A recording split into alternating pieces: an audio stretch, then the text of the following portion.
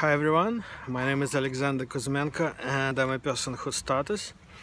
I have a speech impairment, please don't mind that. Do you know anyone who stutters? Maybe friend or family member?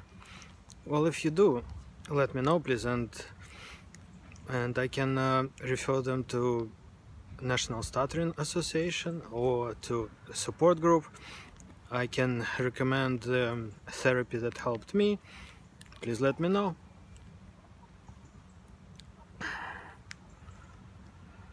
There are many types of disclosures and so job interview, right? Same thing. That's that's exactly what um, what you should start or how I would start. Any other situation, maybe job meeting 10 people in a room. My turn to talk. That's what I do. Hi everyone. I'm Alex. I stutter please don't mind that. Okay.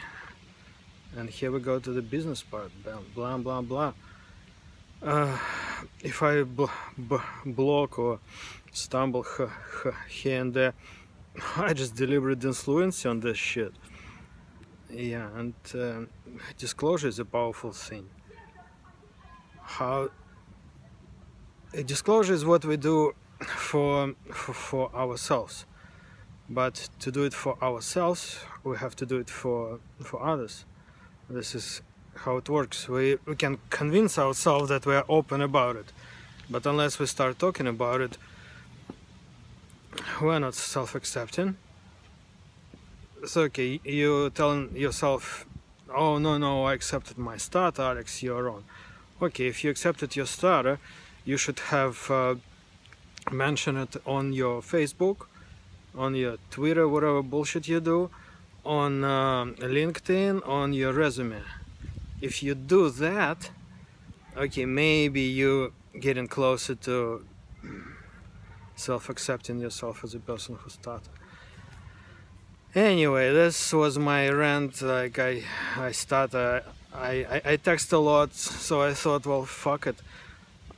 I need to show the way I talk and I not only like do okay in a, in a basement of of where I live. No, I also do it okay outside. You see, I'm outside, fuckers. yeah, so I'm in the real life, yo. Okay, bye for now.